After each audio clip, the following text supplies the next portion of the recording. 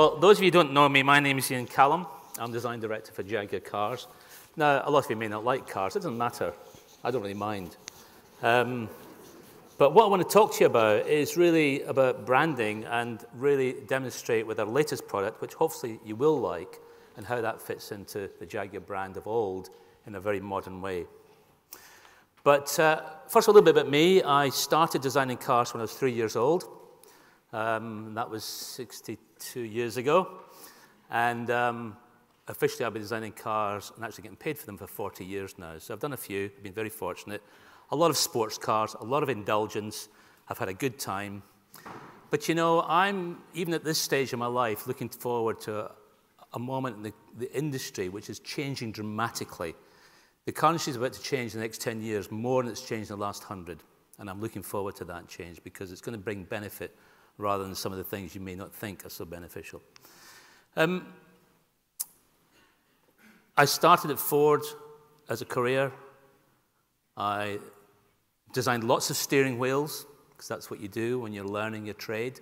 Lots of steering wheels, lots of wing mirrors, or door mirrors, we call them and a few dashboards, and I got frustrated. So I left and I started a car company, a design company with TWR, Tom Walkinshaw Racing, and I was very fortunate to design most of the Aston Martins of the past century, the, the last 10, not the past century, the last 10 years of the past century.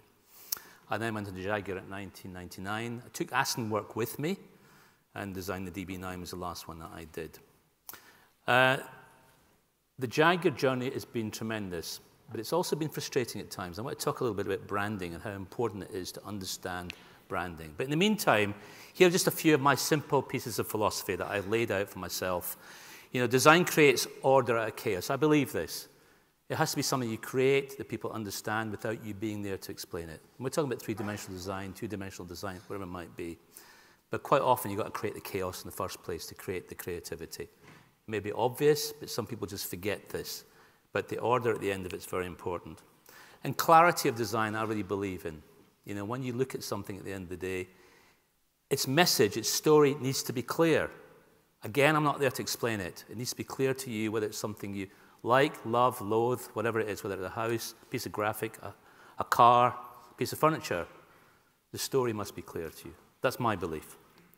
Form and function must take form and place in order.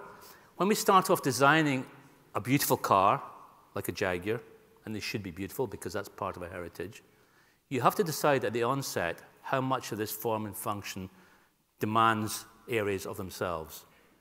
Because often I get into discussion with other people involved, engineers, finance people, finance people, finance people, and there's cost people, and manufacturing. You all know this story. But you must decide at the onset exactly where the balance of that product is going to be. Otherwise, you'll never have a story to take to the end. So is it going to be purely about beauty or about beauty and function, and to what degree? If you want a lot of space in something, buy a transit. If you want to drive something that's really cool and sexy for two people, buy an F-Type. I'm not supposed, supposed to sell Jaguars here, I'm, I'm sorry, but I sold the transit to you anyway. Um, an object should always be fascinating and dramatic and visually and architecture. There's no reason why any object design cannot be amazing or fascinating. If it's not, it's not been done properly. So what I want to talk about is a little bit about the Jaguar brand, but this can apply to anything. One of the frustrations I had when I began the business was I arrived in 1999. Jaguar had gone through 30 years of tradition. And that's what a lot of people remember Jaguar as, a traditional car company. And what happened was during the 50s and 60s, when William Lyons created the business and what it stood for, he then left the business in 1972, thereabouts, and for 30 years, the custodians replicated the company's product. They didn't understand the values, so they didn't know what to do, so they replicated, and we became the traditional car company because it looked like the previous car, looked like the previous car, looked like the previous car. I decided in 1999 I'd go in and try and change that and bring Jaguar back to where it should have been all this, this time. It frustrated me as a Jaguar fan of many years. And I wanted to demonstrate how you can move Jaguar into 21st century. And we brought it into 21st century, screaming and kicking at times, but this was the whole point. Here's a bunch of old cars. You might see a bunch of old bangers there. To me, what these cars say are innovation, technology, performance. These are the highlight of Jaguar's time in the 50s and 60s. They were wonderful cars, and they led the world in those very attributes. That's what Jaguar stood for. So it's important to understand Jaguar is about innovation. I say I'm referring to Jaguar because it's the company I've worked with for 20 years. You can apply this to any company with tradition and heritage. Use it, understand it, and then change it to the next level that needs to be, but hold on to the values. Of course, the other sense of value that Jaguar has is style and design, aesthetic. Yes, it still matters. I know a lot of people say to me, form must follow function. Actually, does it really always have to be that pure? I don't think so.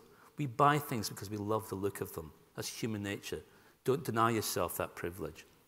So Jaguar is about flowing lines, clearly, understandable. It's about purity of design. Aesthetically, it's about a purity which we have to be very disciplined at, hugely disciplined at. And of course, it's about great proportions. This is a thing that car designers use a lot great proportions. Great stance, the way the car sits on the road, how you see it. It's a big picture. It's a draftsmanship, actually. And like anything artistic, if you don't get the draftsmanship right, the painting will always be rubbish.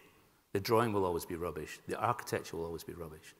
You get the draftsmanship right, then the object will be right, regardless of the technique by which it comes about. So these are the values of Jaguar. Great style, beautiful style, performance, technology, innovation. It is not about copying the last radiator we did in the previous car, which is a mistake Jaguar unfortunately made for a number of years. Now, in that mind, how did we move through the years? Well, we've done a number of cars. You see there the lower ones, the F-Type, the XE, of course, the XF. Of course, following a conventional drivetrain pattern, you know, that's the, the, the power unit, the engine, the gearbox, the drive shafts. This is conventional technology that we are bound to use because that's all we know at the moment. However, something happened about three or four years ago. I was offered this. It's what we call electric skateboard. It's a very fast skateboard. You don't want to try it on your own, I can assure you. But this is an electric skateboard. It has two motors in it for the, the geeks in here, 200 kilowatts each. This is a very quick skateboard.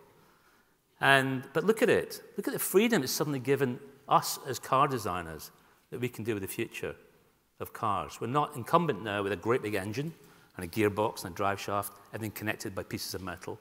We have two motors sitting between the wheels, and that's basically it. Yes, we need other bits and pieces. We need transformers and, and, and, induction machines and stuff, but they can be put anywhere because they're joined by cables rather than nuts and bolts the greatest freedom we could ever expect.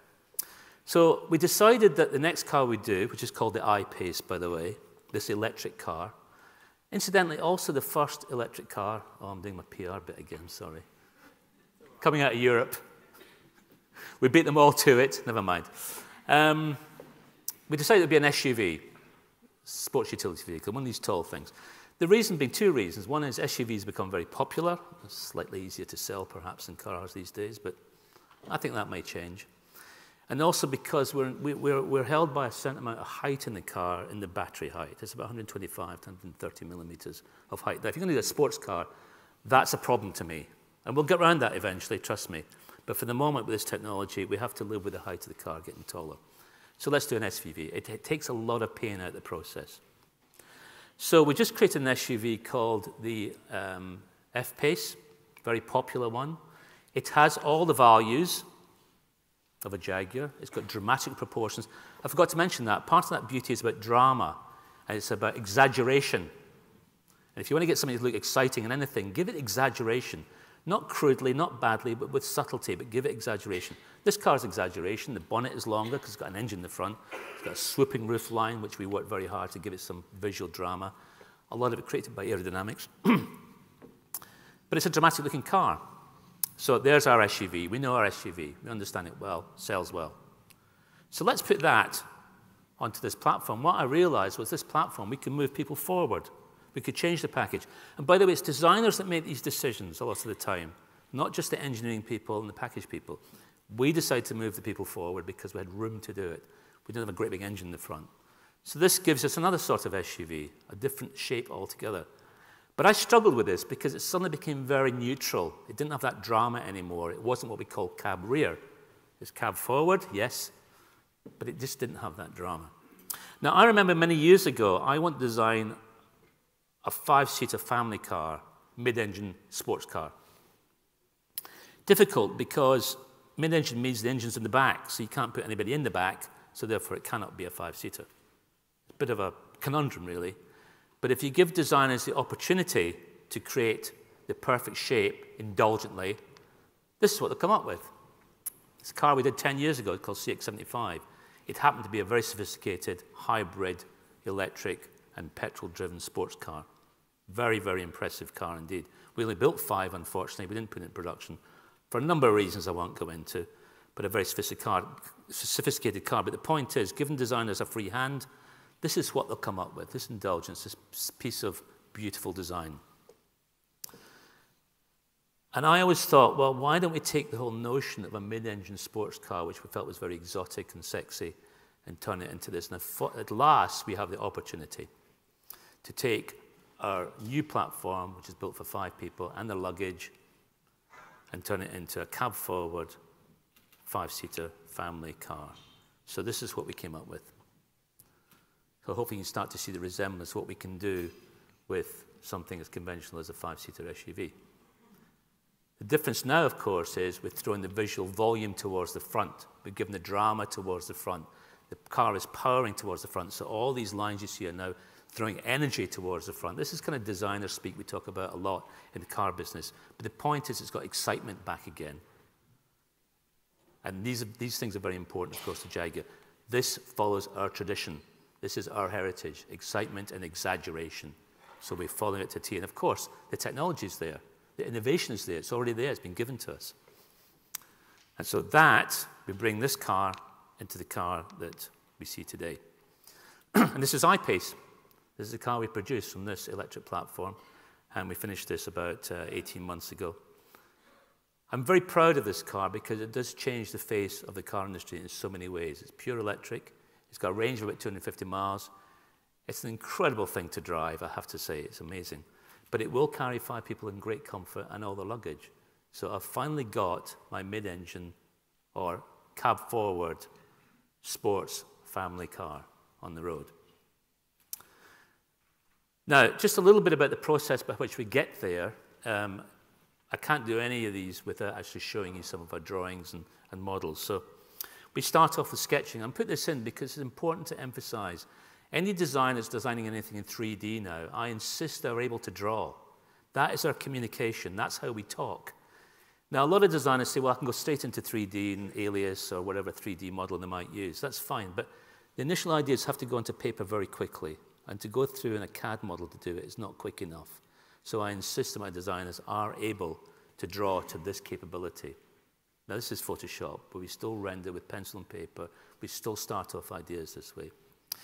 Incidentally, while you're thinking, this car has got a radiator grille at the front, you'll notice. That's because electric cars need radiators, just in case you wonder, contrary to popular belief, because batteries need cold. Just a point of technology. Now, from this, we build three dimensional models, and that's the master. And we create these two dimensional models with a, with a software called Alias, I'm sure you're aware of, from Photoshop to Alias.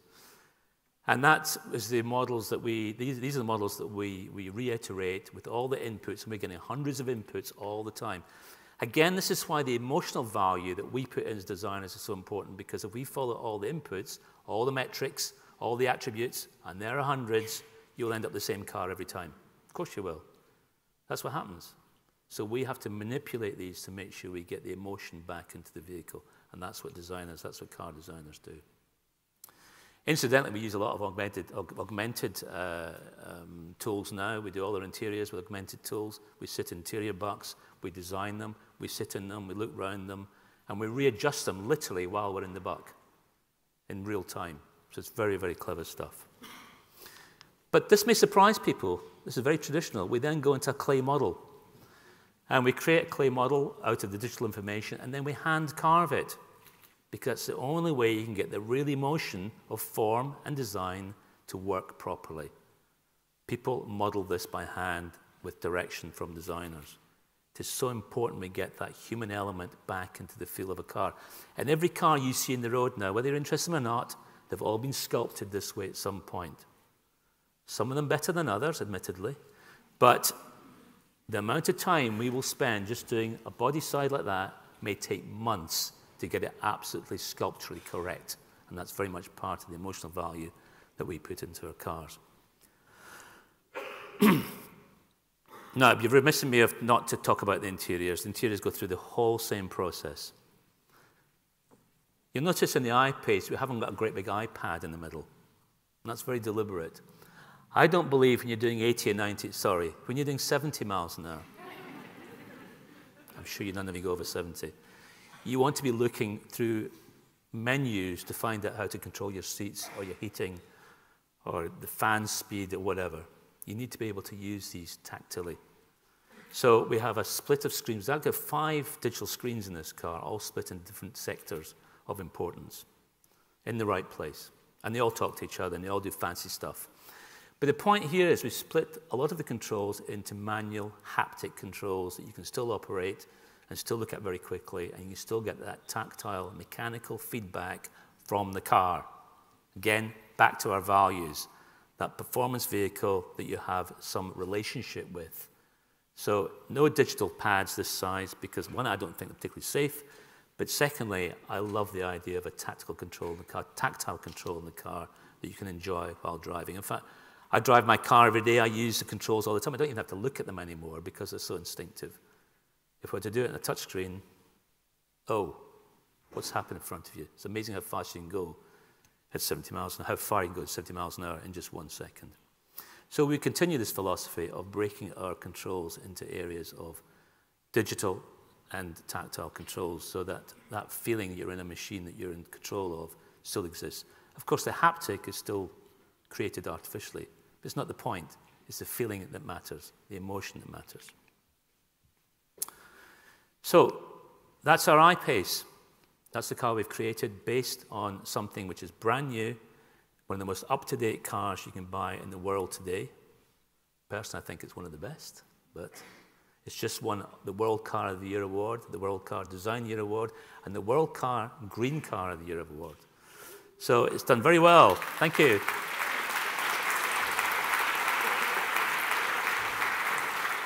And you can imagine for that reason, we're all very proud of it because we've done the right thing. A car built from the ground up with integrity and for the right reason.